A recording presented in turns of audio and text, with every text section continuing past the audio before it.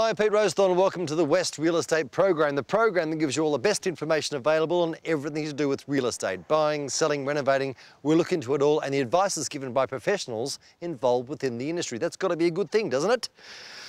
People often say to me, why are you hosting this show, Rowsthorn? You've got nothing but a comedian actor boy. And I go, well, I don't know anything. I'm here to learn with you, everybody. On today's program, Sarah's at Finbar's Adagio Apartments. Would you say it's a good investment?